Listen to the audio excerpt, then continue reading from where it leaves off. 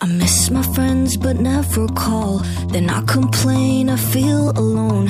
Stay up on my phone all night. Then in the morning say I'm tired. I need therapy, too broke for that. But I just spent two grand on a bag. Buy self help books I won't read. Put podcasts on just to fall asleep, yeah. Tell myself I don't have the time.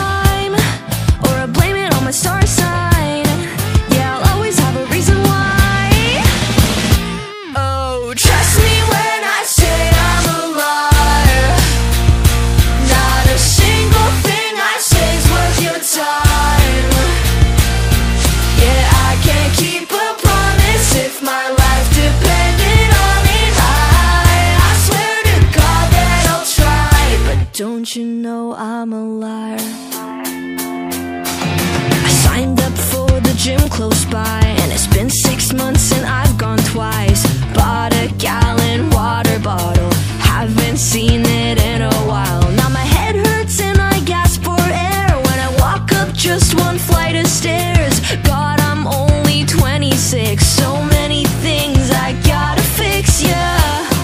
Burn myself like it's a 9 to 5